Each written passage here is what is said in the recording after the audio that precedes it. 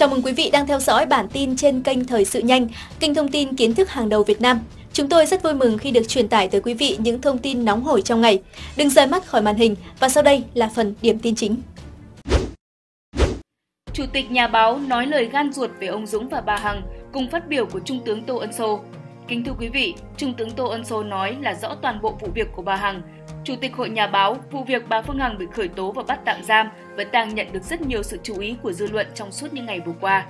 Mới đây, Chủ tịch Hội Nhà báo Việt Nam tỉnh Lâm Đồng đã có một bài chia sẻ với tựa đề Trung tướng Tô Ân Sô nói làm rõ toàn bộ vụ việc của drama Nguyễn Phương Hằng. Tại đây, ông Lê Văn Tòa, Chủ tịch Hội Nhà báo Việt Nam tỉnh Lâm Đồng, chia sẻ rằng ông dự định khép lại câu chuyện liên quan đến bà Nguyễn Phương Hằng để chờ kết luận cuối cùng của vụ án này. Tuy nhiên, khi đọc bình luận của mọi người thì diễn đàn của ông nhận thấy có một số vấn đề cần phải trao đổi để chúng ta có cái nhìn thông suốt hơn. Thứ nhất, một tài khoản có tên Yến Nguyễn có bình luận rất dài, liệt kê ra 14 việc thiện nguyện mà bà Nguyễn Phương Hằng và ông Huỳnh Uy Dũng đã thực hiện trong một thời gian dài như là xây dựng rất nhiều trường học, rồi đường xá, cầu cống, nhà cửa, chùa chiền và nhà máy nước sạch cho người dân ở các tỉnh miền Tây Nam Bộ, rồi ủng hộ tỉnh Bình Định hàng tỷ đồng để xây dựng trường học và giúp đỡ người nghèo, xây dựng hơn 800 căn nhà cho bà mẹ Việt Nam anh hùng, giúp những người mãn hạn tù để họ có vốn làm ăn sớm hòa nhập với cộng đồng, ủng hộ đồng bào miền Trung, ủng hộ 10 tỷ đồng vào quỹ mổ tim của nhà nước, ủng hộ hơn 360 ha cao su ở tỉnh Bình Phước trị giá hơn 170 tỷ đồng cho bộ đội Trường Sa, thành lập quỹ hàng hữu để mổ tim bẩm sinh, náo uống thủy cho trẻ em nghèo miễn phí và sáng lập quỹ giờ vàng để cấp cứu những người bị tai nạn giao thông. Tài khoản Yến Nguyễn có hỏi rằng có ai biết hay không? Ông Lên Văn Tòa cho biết, tôi xin trả lời với Yến Nguyễn rằng Đảng biết, nhà nước biết, những người, những địa phương thụ hưởng và một bộ phận nhân dân biết và đó là việc làm rất đáng trân trọng của doanh nhân Huỳnh Uy Dũng và Nguyễn Phương Hằng. Đây là yếu tố giảm nhẹ khi vụ án được đưa ra xét xử. Thứ hai là nhiều người hỏi rằng tại sao những việc làm thiện nguyện của doanh nhân Nguyễn Phương Hằng và ông Huỳnh Uy Dũng lại không được báo chí quan tâm, đưa tin, viết bài, như vậy là không có công bằng. Ông Tòa trả lời, về việc này thì quý vị trách nhầm báo chí. Về việc này thì quý vị trách nhầm báo chí. Tôi đã nghe ông Huỳnh Uy Dũng trả lời trong một clip của một YouTuber ở Đức. Họ cũng phê phán y như quý vị, nhưng ông Dũng lò vôi đã phản bác ngay. Ông Dũng nói rằng cái đó đừng có trách báo chí vì có nhiều tờ báo đặt vấn đề đưa tin, viết bài để tuyên truyền nhưng ông Dũng không đồng ý vì ông Dũng cho rằng làm từ thiện mà đưa tin, viết bài, tung hô trên mặt báo hay là trên sóng truyền hình thì chẳng khác nào để đánh bóng tên tuổi của mình.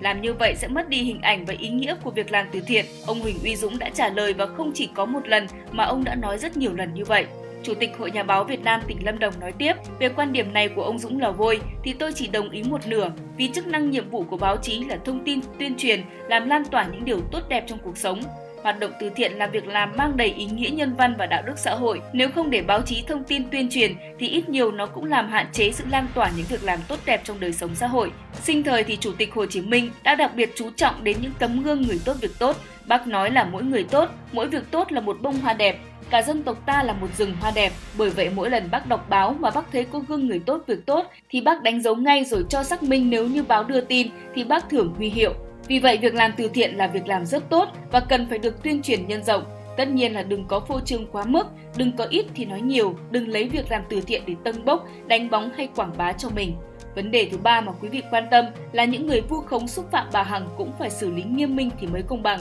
Ông Tòa chia sẻ, Kính thưa quý vị, về câu chuyện này thì tại buổi họp báo chính phủ chiều ngày 4 tháng 4 vừa qua, Trung tướng Tô Ân Sô, người phát ngôn tránh văn phòng Bộ Công an đã cho biết là Bộ Công an đã chỉ đạo Công an thành phố Hồ Chí Minh tập trung lực lượng để điều tra làm rõ toàn bộ sự việc và sớm đưa vụ án ra xét xử theo đúng quy định của pháp luật. Xin quý vị lưu ý là điều tra làm rõ toàn bộ vụ việc chỉ có 6 từ thôi nhưng 6 từ này đã thể hiện rất rõ sự công minh của pháp luật. Trên đây là toàn bộ những chia sẻ của ông Lê Văn Tòa xoay quanh vấn đề liên quan đến bà Nguyễn Phương Hằng.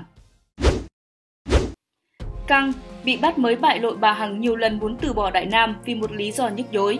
Kính thưa quý vị, thông tin khu du lịch Đại Nam sắp bị chuyển nhượng chủ mới đang được chia sẻ rầm rộ bàn tán trên các trang mạng. Mọi việc bắt nguồn từ phản hồi của đơn vị được cho là chủ được cho là chủ sở hữu Đại Nam trên phần đánh giá của Google. Ai nấy đều hoang mang cho số phận của Đại Nam, công trình tâm huyết của ông Huỳnh Uy Dũng và bà Nguyễn Phương Hằng. Khi tin đồn xôn xao, tối ngày hôm qua ngày 21 tháng 9, bà Phương Hằng bất ngờ có động thái liên quan đến chủ nhân thực sự của khu du lịch Đại Nam – Cụ thể, trên trang Facebook Tích Xanh, nữ đại gia Bình Dương đăng ảnh cậu con trai diện đồ chỉnh tề kèm dòng trạng thái, ông chủ nhỏ Đại Nam. Nhiều người cho rằng đây có thể là ngầm khẳng định người thừa kế của Đại Nam xóa tan tin đồn chuyển nhượng chủ mới. Tuy nhiên, tất cả vẫn chỉ là phỏng đoán, netizen đang rất mong chờ câu trả lời từ bà Phương Hằng hoặc ông Dũng. Dù vậy, trước đây, chính bà Hằng là người đã nhiều lần tự tuyên bố đóng cửa giải thể khu du lịch Đại Nam. Trong lần gần nhất, quyết định của CEO đã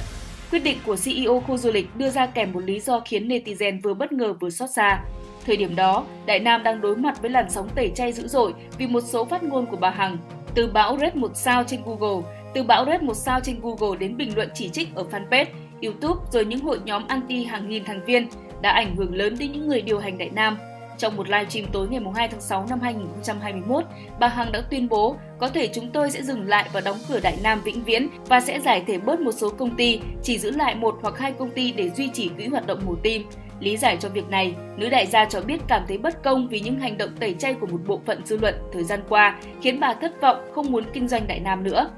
Trước đó bà Hằng cũng từng tuyên bố thực chất Đại Nam không có lãi, bà Hằng và các cộng sự chỉ duy trì hoạt động vì cộng đồng. Dẫu vậy, 3 tháng sau livestream đó, bà Hằng vẫn không có xác nhận thêm về việc đóng cửa Đại Nam hay chuyển nhượng chủ mới như các tin đồn gần đây. Không chỉ vậy, ông Dũng và Hằng còn sẵn lòng biến trường đua Đại Nam thành khu cách ly hay làm nơi cung cấp oxy miễn phí cho người dân. 11 dự án tai tiếng của Tân Hoàng Minh, căn hộ đế vương 10 năm còn lỗi hẹn.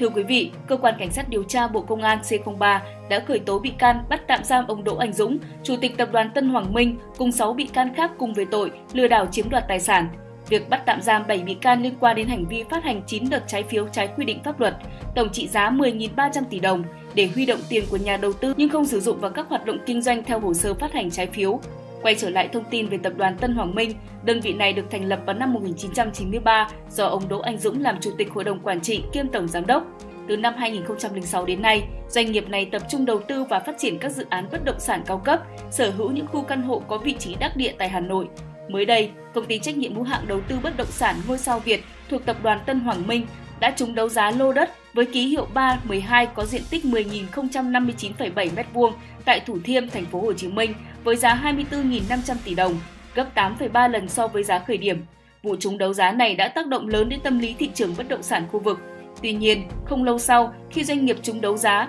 lãnh đạo Tân Hoàng Minh lại xin tự nguyện đơn phương chấm dứt hợp đồng mua bán, đấu giá lô đất tại Thủ Thiêm, chấp nhận bỏ 600 tỷ đồng gây xôn xao dư luận. Đáng chú ý là động thái ngay sau đó của cơ quan chức năng khiến dư luận không thể không quan tâm đến tập đoàn này. Cụ thể, cơ quan cảnh sát điều tra Bộ Công an gửi Ủy ban nhân dân thành phố Hà Nội và các sở ban ngành của thành phố Hà Nội đề nghị cung cấp những hồ sơ tài liệu gồm các văn bản pháp lý do Ủy ban nhân dân thành phố ký, duyệt liên quan đến các dự án của tập đoàn Tân Hoàng Minh. 11 dự án bất động sản do tập đoàn Tân Hoàng Minh đầu tư nằm trong diện xác minh của cơ quan công an bao gồm